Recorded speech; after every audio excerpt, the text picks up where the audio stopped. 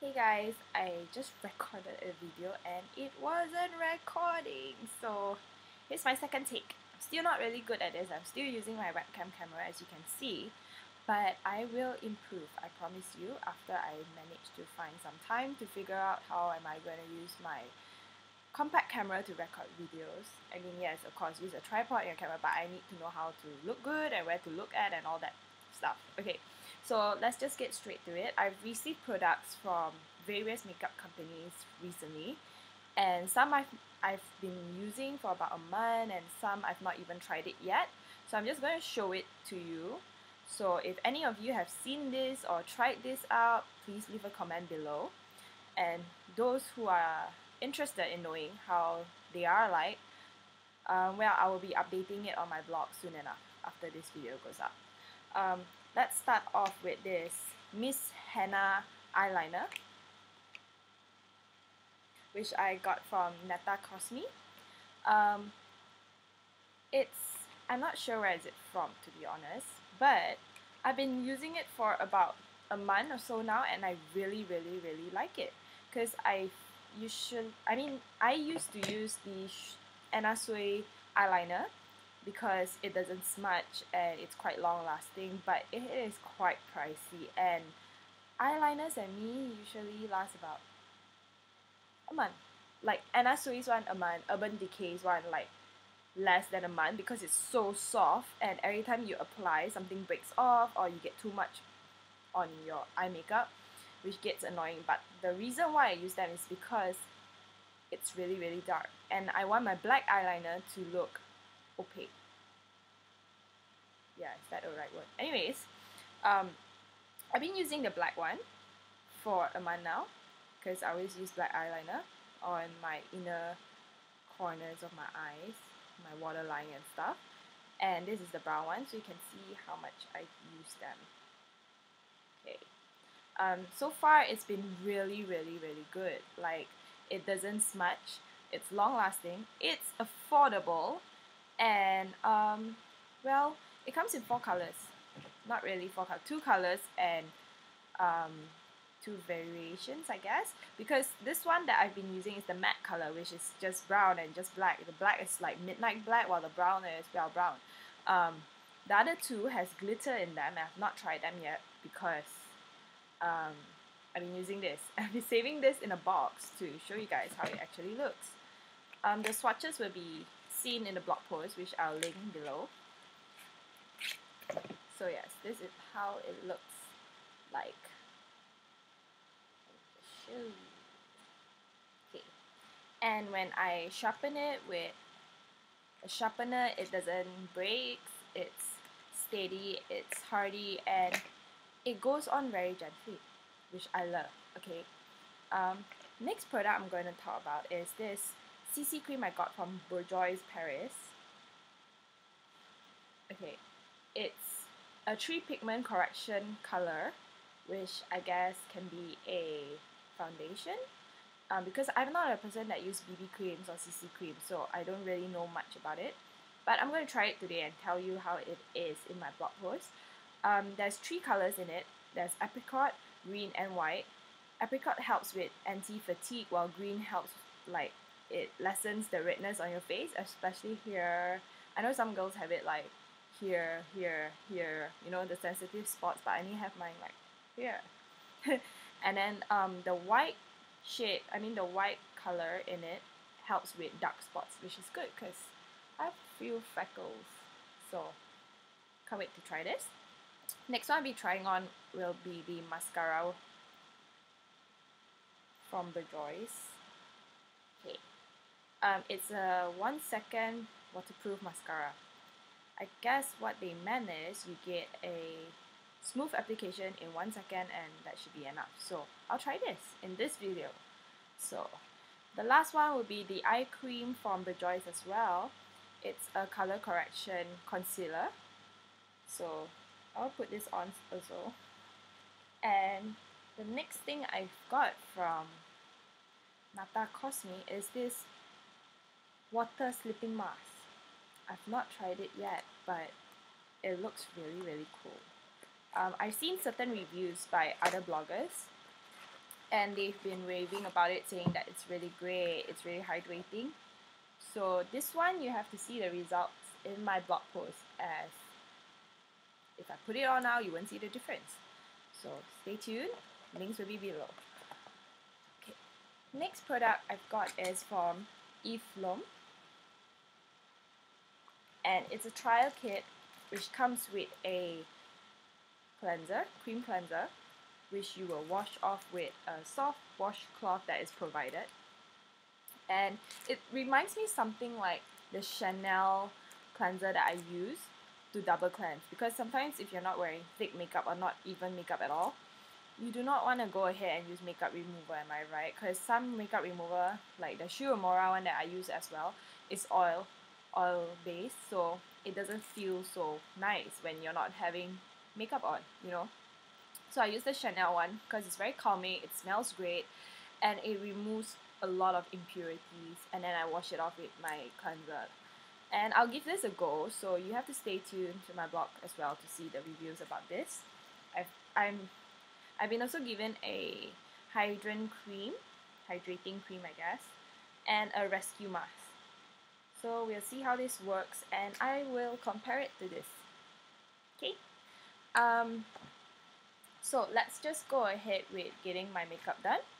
Um, I know that my previous tutorial was 30 minutes, but if you're planning to see how I do my daily makeup, you can go and check out my other videos by this side.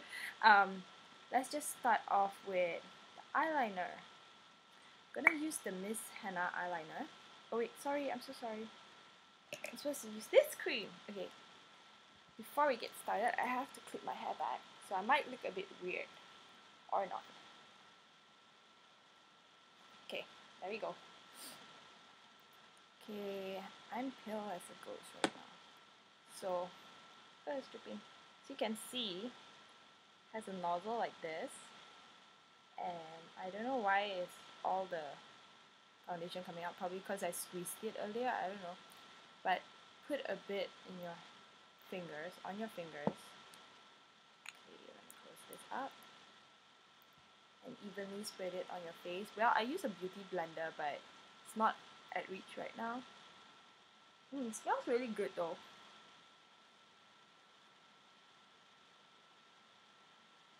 Okay, I know I make weird faces while applying my makeup, and I'm actually looking through the webcam webcam screen right now.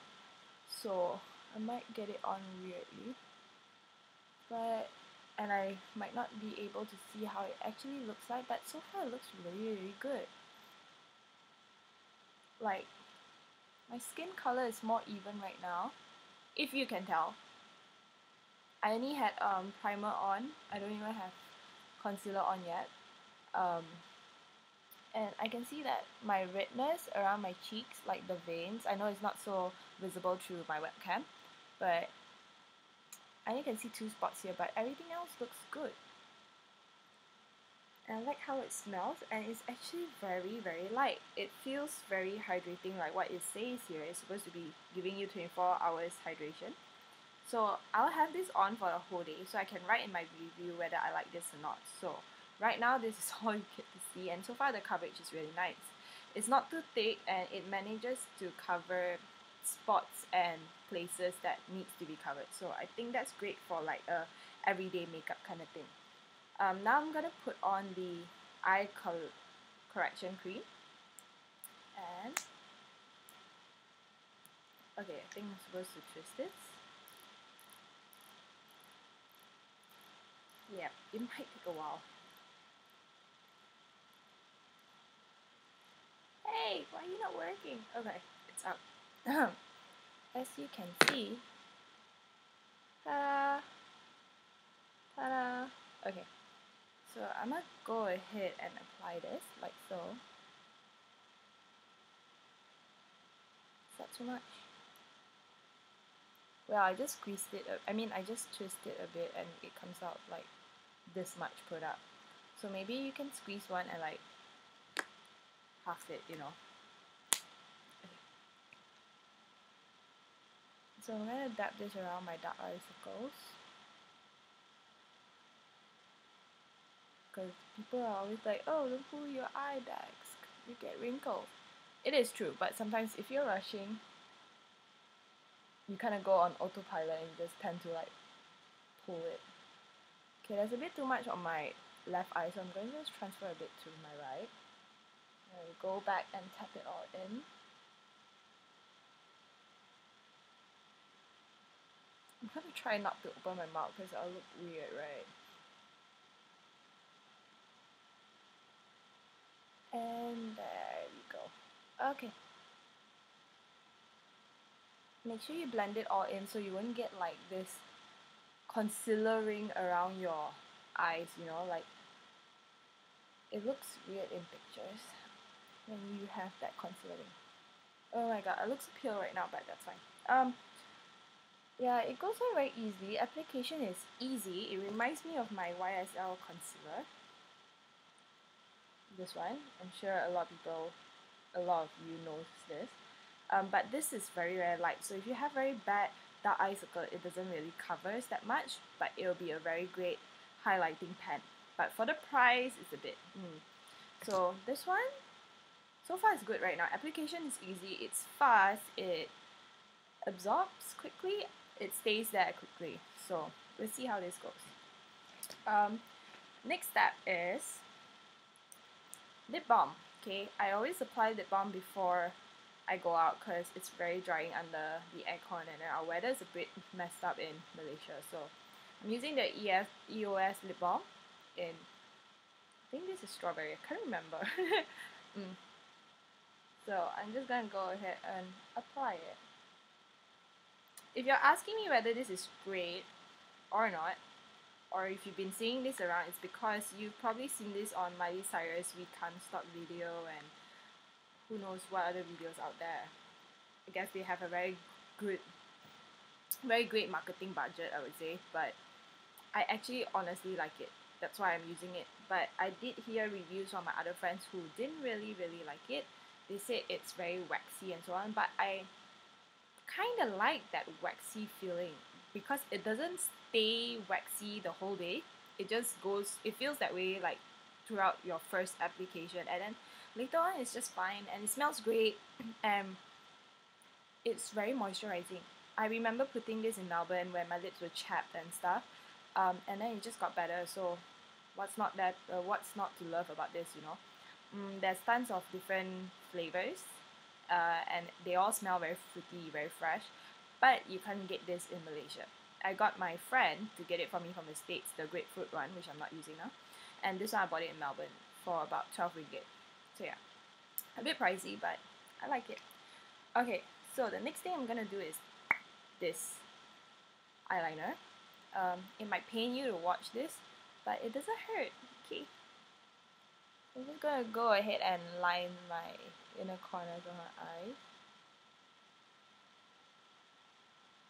Don't ask me why my eye why my eyes are closed. It's how I normally apply my eyeliner.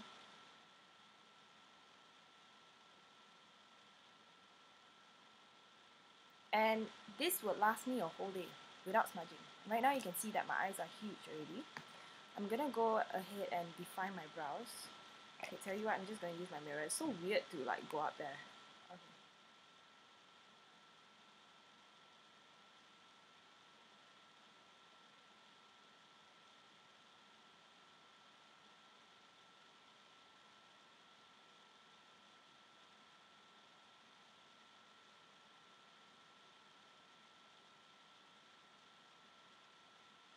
Okay I u I always get like um questions of how do I draw my eyebrow what pencil do I use um before the straight eyebrow thing was in trend.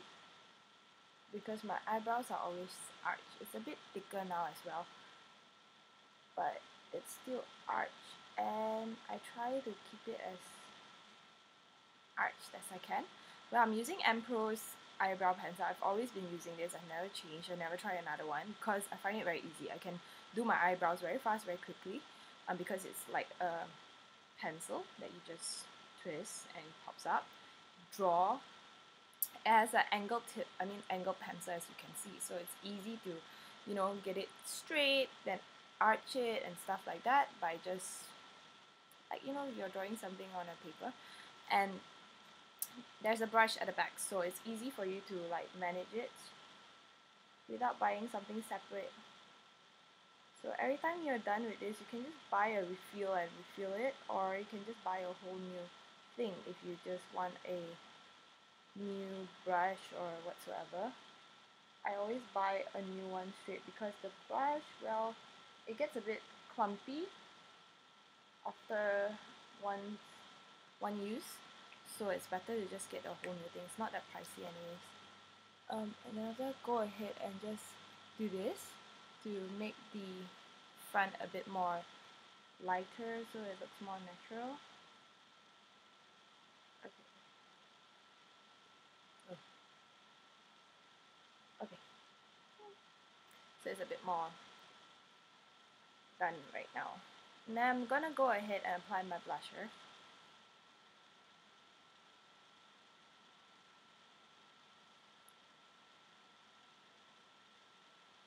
because I don't turn red in cold or hot weather and I look very pale as you can see because my skin doesn't really change color so I need I cannot live without my blusher and that's a fact.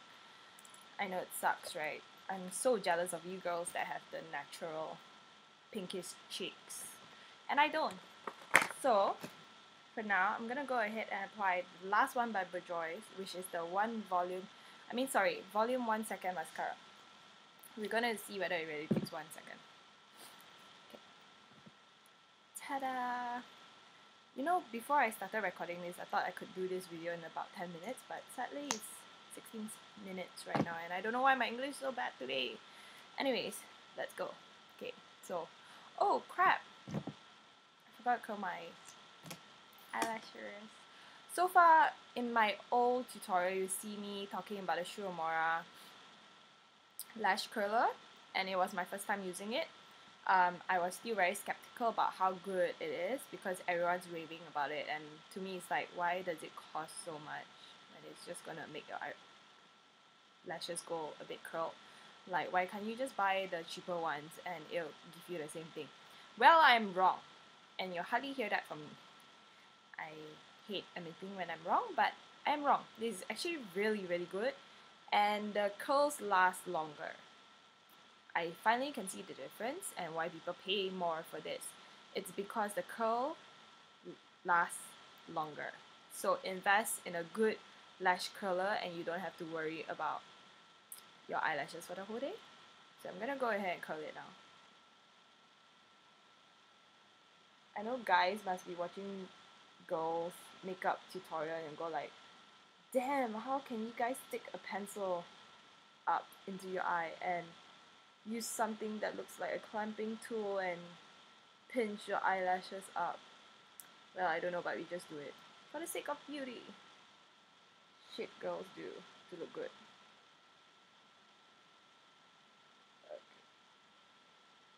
Okay, got it curled. You can see uh, my eyelashes already has some difference by the curl. I'm gonna go ahead and put the mascara. Okay, it's really thick. The brush is really thick as you can see. I got mustache.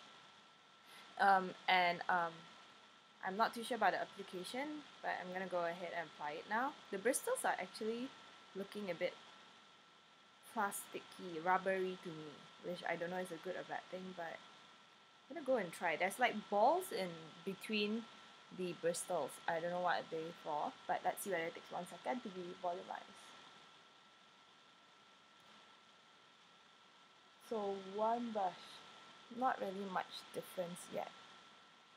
As you can see, it still looks the same.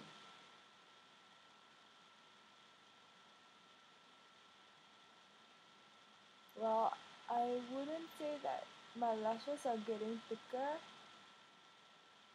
but I like how easy the application is. I'm not getting any clumps and it's quite smooth and it gives a very nice feeling like I'm really combing my lashes.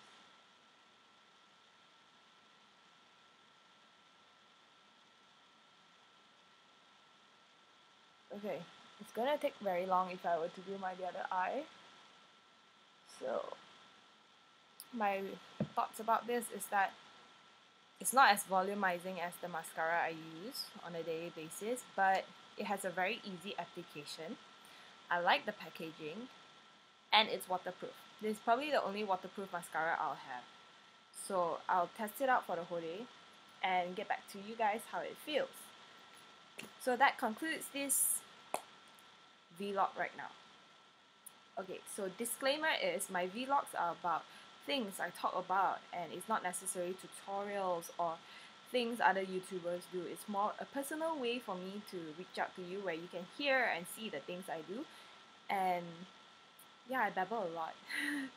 but I hope that it explains things in a more clear way, um, better than what I can do in writing. So the details will be in writing, of course, like the price, where you can buy these items, and so on. But how I apply and how I like it, how I feel about it with my expression, you can see it through my videos. So you just have to get that clear before people start commenting like, oh my god, your videos suck, you talk too much, and blah blah blah. So, anyways, if you don't like it, don't watch it. If you like it, subscribe. Um, that's all for now. I'm gonna go and go ahead and sit in front of a mirror and finish my whole makeup. Can't go out looking like this with one mascara and none. And um, I'll write it in my blog post about what I think about it, how it last, and pictures of before and after. So have a great day, guys, and I'll talk to you soon. Bye.